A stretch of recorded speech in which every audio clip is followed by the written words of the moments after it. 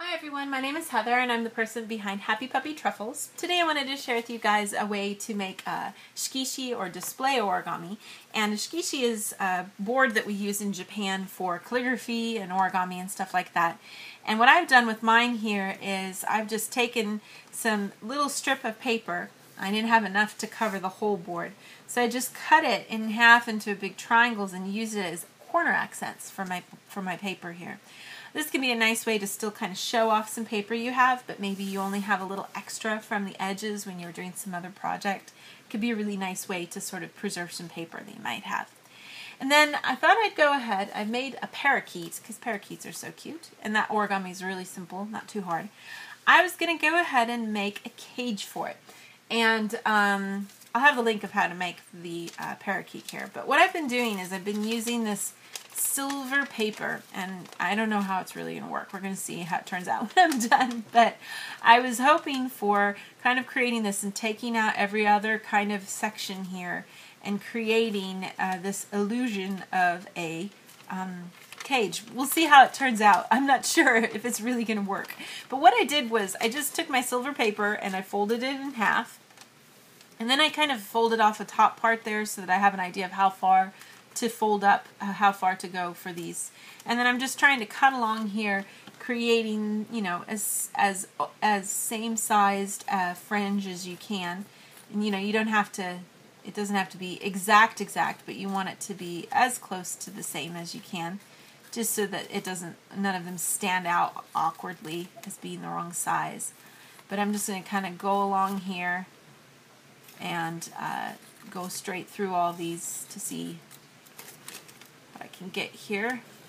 You don't have to use silver either, of course. Um, I just had a piece and thought it might look cool, but we'll see how it turns out here.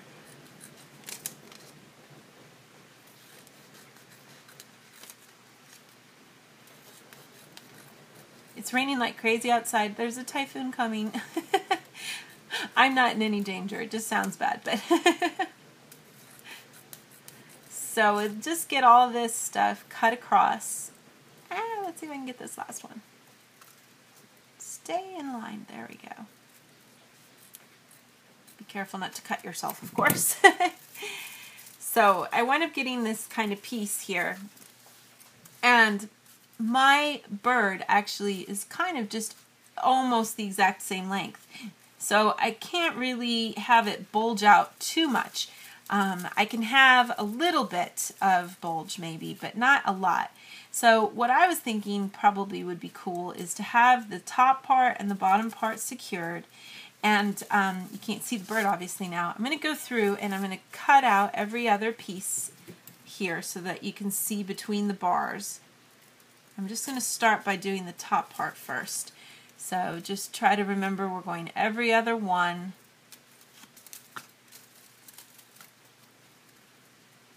And I'm just cutting on that crease that I made so that I can create and I'm not sure how many I made here. We'll have to see, fingers crossed, if it works out right. If it doesn't, we'll just trim up the edge and make it so that I still have an edge to glue down on the other side. If it doesn't, we can fix that.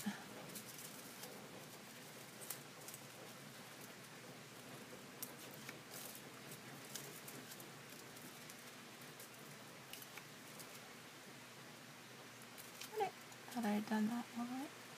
There we go.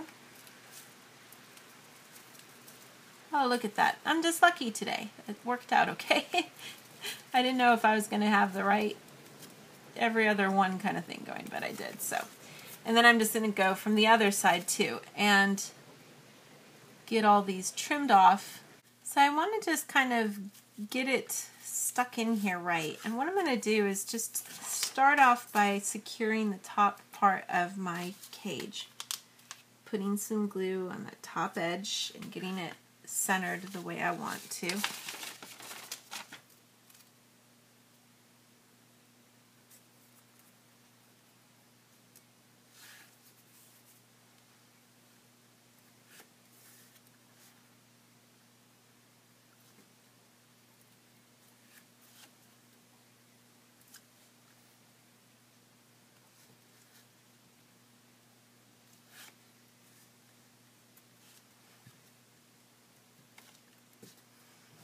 Kind of get that top part secured.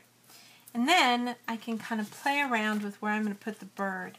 And I kind of wanted to be able to have, you know, just a little, like one bit of her tail sticking out and maybe her beak sticking out like that would be cool. And then I was just going to try to create a little give. I don't want this to be super tight and the origami is just the right size to do this. So um, I'm going to start off first by trying to get my bird glued down here. So we'll put a little bit of glue on this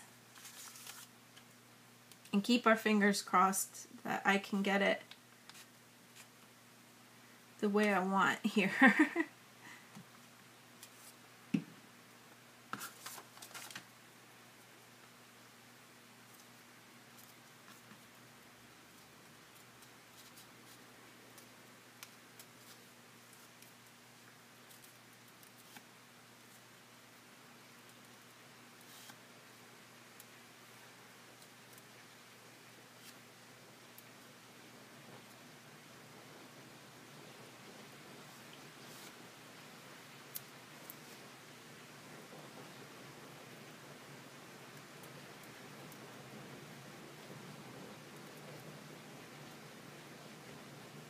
I'm kind of playing around with the angles to try to get it so that it's going to cooperate with things here to get it the way I want it to look. And that could be a little tricky, but I think I kind of got it the way I want it here.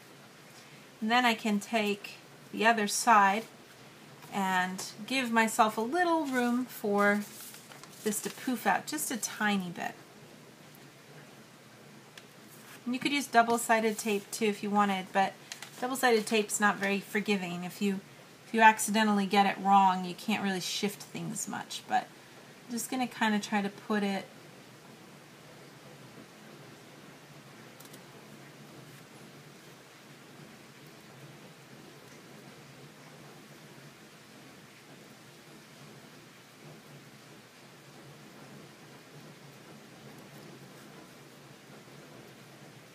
so you can get this little bit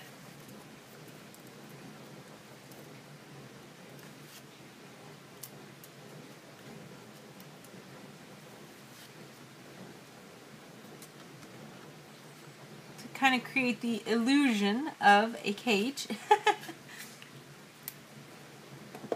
and that's just sort of one kind of fun way that you can kind of display your items here. Um, you could certainly play around with the material you used for the cage. You could use string. You could use uh, decorative wire. Lots of different things you could do for this. But uh, this is just uh, one kind of fun way to have some fun with the parakeet origami. I'll have a link if you guys need reminding of how to make that, but uh, that kind of gives us our finished project there. And I'll have some more fun projects to share with you guys in the days to come. Thanks again always so much for watching, and I'll see you all next time. Bye!